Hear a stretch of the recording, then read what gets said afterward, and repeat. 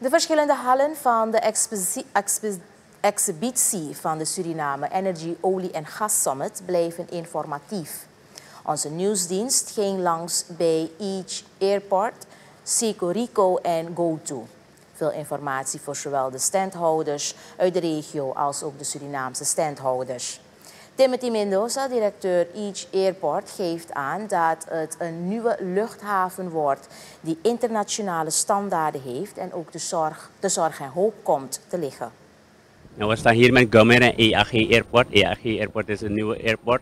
Op dit moment opereren we als heli heliport voor alle offshore helikopters, alle operaties. En Gummer natuurlijk, de welbekende, meer dan 50 jaar ervaring in de luchtvaart in Suriname. Dus wat doen wij hier? En wat, we zijn natuurlijk een van de suppliers voor offshore. Uh, en daar zijn we sinds 2015 um, ehm, actief mee.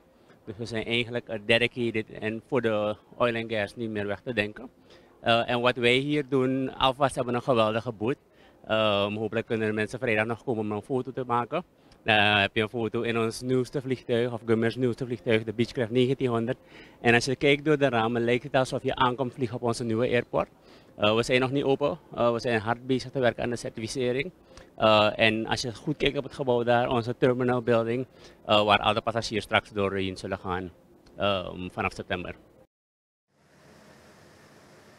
Arnold Hafhai, directeur Sicorico, zegt dat, dat zij er zijn om meer informatie te geven over veiligheid op de werkvloer. En nu ook veiligheid in de olie- en gassector. Mark Krevels, asset manager marketing GoTo Suriname, verklaart de aanwezigheid van GoTo Staatsolie als ondersteunend tijdens de summit, waar iedereen terecht kan voor verschillende soorten informatie.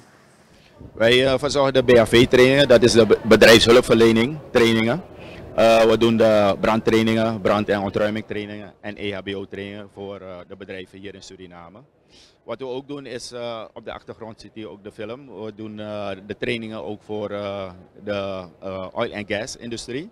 We praten over de hele grote branden op raffinaderijen. En dat zijn de, ja, de grote branden op de raffinaderijen.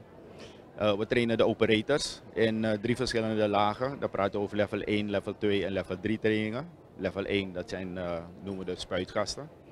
Level 2 zijn de bevelvoerders, die geven leiding aan een uh, kleine groep. En de level 3 is de incident commander, die geeft leiding aan een heel incident op, op de raffinaderij. Bijvoorbeeld een grote brand, een grote lekkage van een gevaarlijke stof of een giftig gas die vrij is gekomen. Waar we er staan? Nou, sowieso zijn we ook deel van, het lo van local content. Um, alle bedrijven die hier denken, um, hun, hun, hun uh, in Suriname zich introduceren voor de oil- en gasindustrie. Ook bestaande bedrijven die zich nu al klaarmaken voor in ieder geval de ontwikkelingen. Die kunnen bij ons terecht voor hun fuel, hun fuel benodigdheden, laat me het zo zeggen. Uh, er zijn ook andere uh, maatschappijen die ook staan, die eventueel dezelfde producten kunnen aanbieden, maar dan moet je natuurlijk ook je best doen om de jouwe te verkopen. En daarom staan we er, we promoten onze gasoline en diesel onze nieuwe Energy Plus Fuels. Met additieven natuurlijk. En we verschaffen natuurlijk ook wat meer informatie over onze processen bij staatsolie. En hoe die terecht zijn bij GoTo. Hoe, hoe dat uiteindelijk bij GoTo gekocht kan worden. De beurs heeft van het jaar ruim 200 stands die verdeeld zijn in drie hallen. Vorig jaar waren het maar twee. Met de uitbreiding zijn er meer standhouders erbij. Vrijdag is de beurs open voor het grote publiek en verwachten de standhouders een enorme drukte.